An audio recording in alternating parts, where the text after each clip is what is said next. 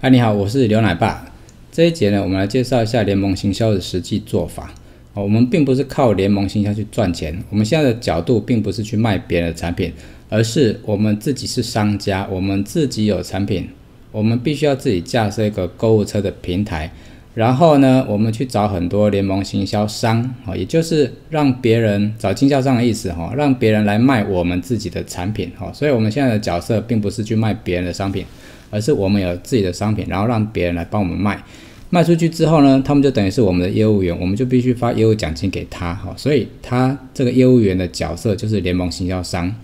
那你自己必须先叫好一个购物车，然后这个购物车里面的所有产品你都定价定好了，那这个经销商呢，他就自己到这个网站来去注册一个账号，那他有了这个账号之后呢，他就可以去卖里面所有的产品，好，比如说。他今天卖这个自驾网络商店这个商品，那这个商品呢，如果是一般人点击的时候啊，它上面的网址是这个样子哈，就是 triple w 点 contentismoney 点 com 点 tw 斜线 product 斜线 woocommerce 哈，这是它的商品的网址。可是如果你是一个联盟行销商哈，你是一个业务员要卖这个产品的时候呢，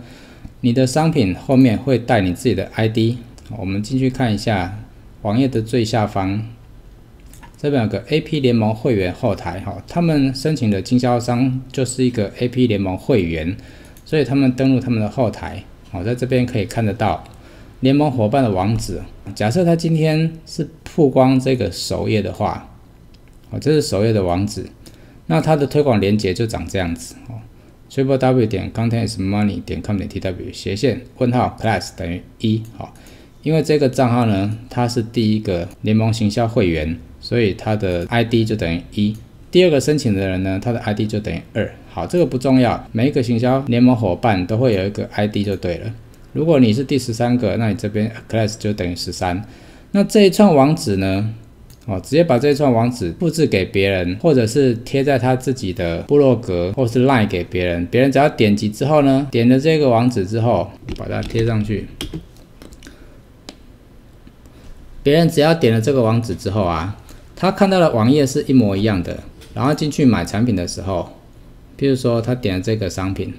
这个时候呢，cookie 已经带进去了。所谓的 cookie 就是说，未来我设定九十天，未来的九十天，如果这个人用同一个浏览器、同一台电脑使用这一个连接登录的时候，虽然它后面并没有再带 class 等于一，但是它的浏览器已经记录了这一个 ID 哦，在九十天之内，这是。你自己可以去做设定的，你也可以设定三百六十五天。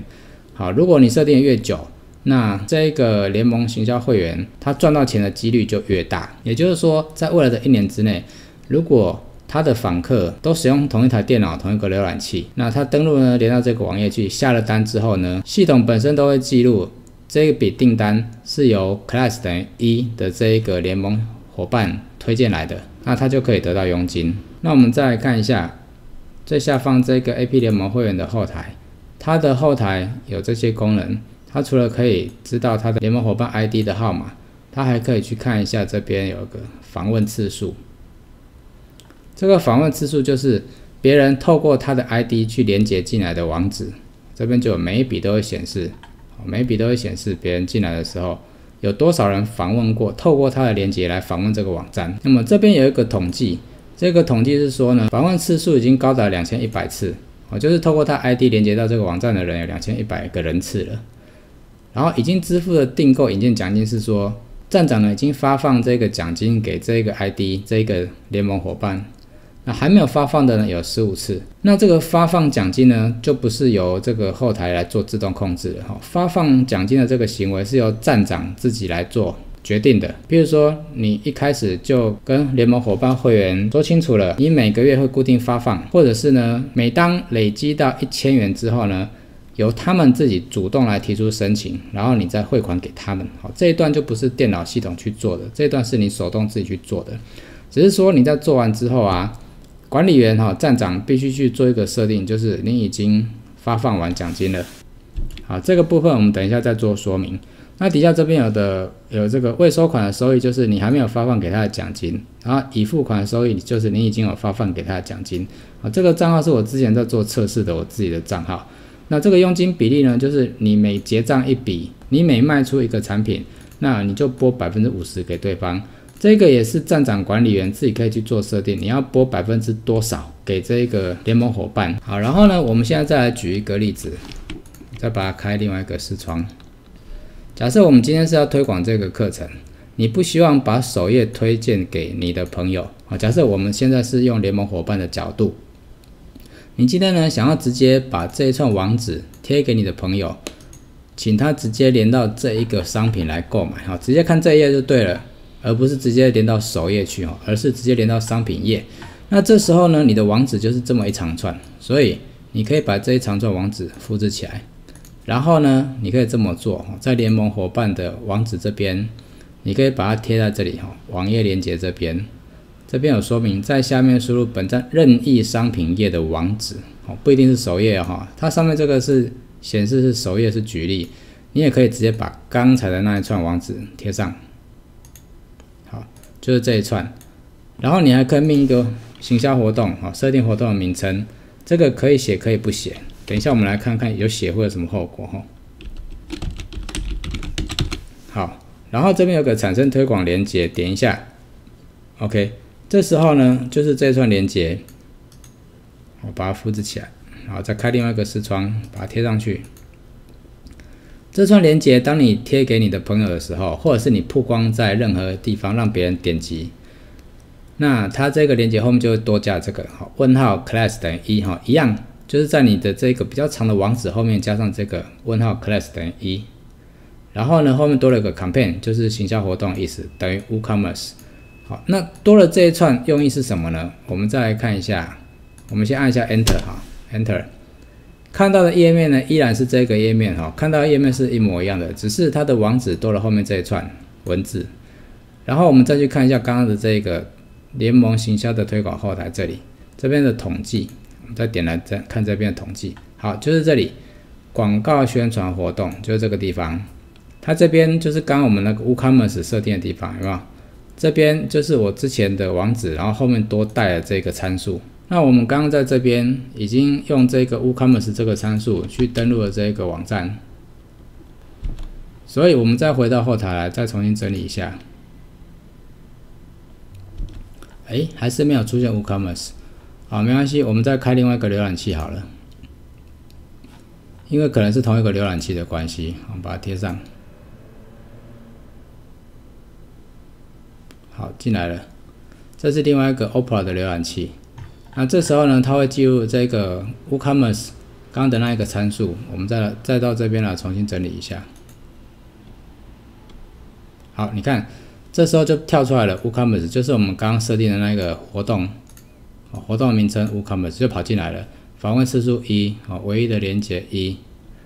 访问次数会比唯一的连接还要高的原因，是因为唯一的连接就是同一个人的意思，哦，总共来了二十五个人。那这个人呢，有可能来很多次，所以这个访问次数呢，一定会高于这个唯一的连接。所以联盟行销伙伴，他每一个人都有自己的后台，可以登录去观察他自己的网址的代号，还有这个统计图表。然后这边有一个推广引荐，就是他推广出去有成交的案件，这边都会有看得到，他推广出去是什么课程，然后奖金有多少钱，在这边都可以看得到。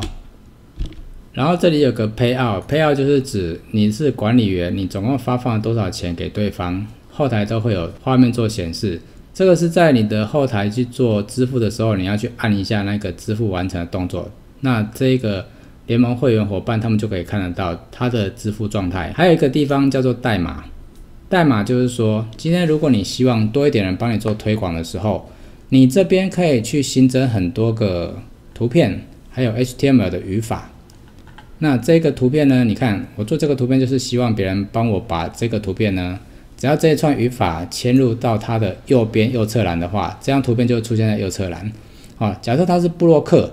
他把这个图片放到他的布洛格的右边，那人家点击之后呢，这边一样会带入他的，啊，他自己的。你看，class 等于一，所以每一个人呢，如果他是 class 等于十三的话呢，他登录这个下面下方刚看到的这个 AP 联盟会员后台的时候。他看到的这个参数就是他自己的，好，他 ID 就会是他自己的。所以这边你可以自己去产生哈，由管理员去产生每一个代码和图片，让他们方便帮你做宣传哈，比较漂亮的宣传图片，让他们可以去像这种横横幅的，就是摆在 blog 的最上面，好像这个正方形摆在右侧栏，增加大家帮你推广的意愿。好，那联盟行销并不是完全没有缺点哈，它最大的缺点是说，假设你今天有很多人在帮你做推广的时候，那当然这个流量会越来越多，你也不用花太多的广告成本。但是它有一个缺点哈，就是说帮你推广的联盟伙伴越多的时候，你每个月，我看你要发放，等于说你每个月在发薪水的意思哈。那你这个要注意的是台湾的税法规定哈，每笔的成交金额去缴纳五营业税。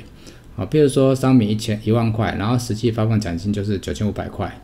的百分之五十哈，这个百分之几是你自己在后台定定的哈，站长自己去定定你要发放多少佣金给联盟伙伴，啊，然后就等于多少钱这样，扣除当次的汇款手续费三十块，您实际领到的金额是四四五零等等哈，这是我自己做规定的哈，这个网站做的规定，然后还有一个是说超过两万块新台币的话会代扣所得税十八，还有代扣二代健保一点九一八。好，这个是你要做注意的地方，免得说到时候你发放出去的奖金，结果自己还亏本了都不知道。然后我这边有一个领取奖金资格的规定是说，他必须买一千块才可以领取哈。如果说只有一两百块的话，那我这边做发放的动作也真的太累人了哈。所以如果你人多的话，其实你每一个月在发放这个奖金的时候，你自己会有一段作业时间哈，要有一点点劳心劳力。假设你帮你推广人真的很多的话。所以这边如果未满一千元的话呢，我会请他们等累计到满一千元的时候再申请。所以我的方式是他们主动申请哈，然后我才把奖金发放给他们。那第二个缺点呢哈，其实我觉得也不算是缺点啦，应该是说这个网络生态的关系，就是假设他今天是在线下的方式去分享你的产品给他的朋友，然后他的朋友呢，并不是在线上的方式来购买，而是私底下跟你成交的时候。那你就很难界定说，哎，这个人到底是谁介绍过来的啊？也许他是口头跟你讲说，哎，我某某朋友介绍给你哦，哈，啊，你要注意哦，那个是我介绍的哈，除非是他非常的明确跟你讲是谁，名字也告诉你了，然后你们私底下有联系的哈，你才知道要发奖金给他，否则的话呢，这种线上的联盟行销制度就是他一定要请消费者到线上来消费，而且网址的后头一定要带有推荐人的推广 ID。那我们才有办法有系统的去知道确认这是谁介绍出去的，而且他自己哦推广人联盟伙伴他自己也有他自己的后台，到他自己的后台去观看他的统计图表哦有多少人来做过访问，然后透过哪一个连接出去的哈哦必须完全以这个方法。那现在网络时代啊，大部分是比较没有在线下做推广哦。所以这一个联盟型的系统，就是专门针对线上做推广的方式来做记录，以便让那些想要在网络上，譬如说布洛克或是 YouTuber，他们自己呢能够有他们自己专属的联盟伙伴的网址，到处去推广你的产品。那你也可以有这种发放佣金的方式，因为它是有成交，你才需要发放奖金。跟一般买广告不一样买广告是你买了很多钱，也不见得会成交嘛，对不对？哦，所以联盟行销系统是目前呃越来越多人啊，其实在国外已经非常的风行，但是台湾呢比较少商家有去做这个联盟行销的系统。不过这几年呢，已经有开始越来越多商家，尤其是大陆那边，几乎每一个网站都会做这种联盟行销的系统。那台湾目前还是比较少。好，那这个系统呢，就是由 WordPress 的软体，然后再加外挂软体去把它整合做出来的。哦，它外挂软体其实还蛮复杂的，就是必须要有这个线上购物的购物车系统。哦，除了 WordPress 本身主程式之外，还有购物车系统，然后还要再加上这个联盟行销的系统，所以这个架构就是比较复杂。不过如果说可以花一点时间啊，去熟悉一下这套系统的话，将来你在做行销的时候，会越做越好。曝光度就越来越高，因为有越来越多的人想要帮你，想要赚佣金，然后帮你曝光你的网站产品。好，那这一节呢，就是属于官方网站的自驾联盟行销平台的说明。有需要的朋友呢，再用 LINE 跟我联系就可以了。